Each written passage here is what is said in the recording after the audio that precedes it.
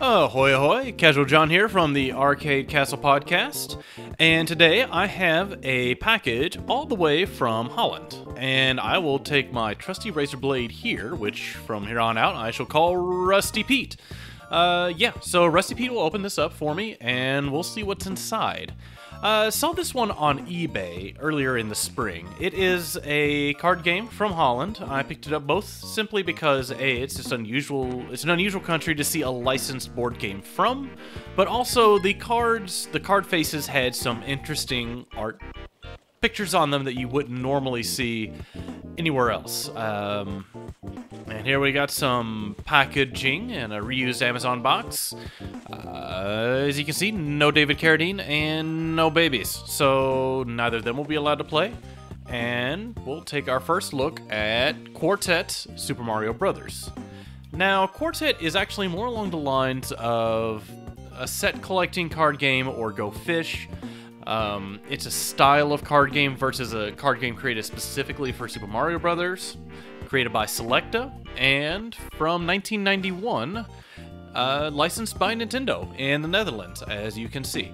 Um, but yeah, what I get just the gist from the images on eBay was that there's various sets of four cards that you would collect that would give you points. Some original artistry there, no instructions, so hopefully we'll figure this one out. But yeah, as you can see here, we got toadstools, toad, multiple toads, and toad on a pipe.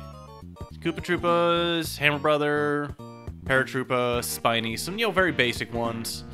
Goomba, Bullet Bill, as you can see right there, uh, Buzzy Beetle, and a Lakitu with a green cloud, which is a little weird.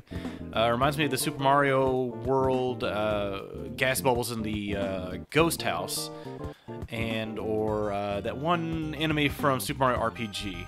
Now here's something that's kind of interesting. It's a it's a bundle of flowers, and I think there's a bundle of flowers in Super Mario RPG going back to that, but this was made before that. And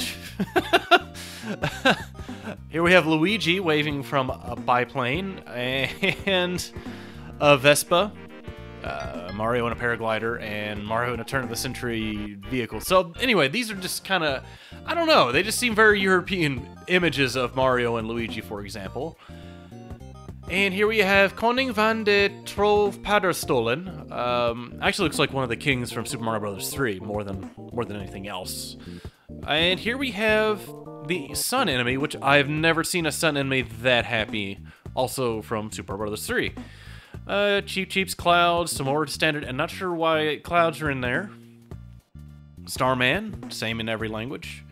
Um, some kind of doofy looking pictures of Bowser.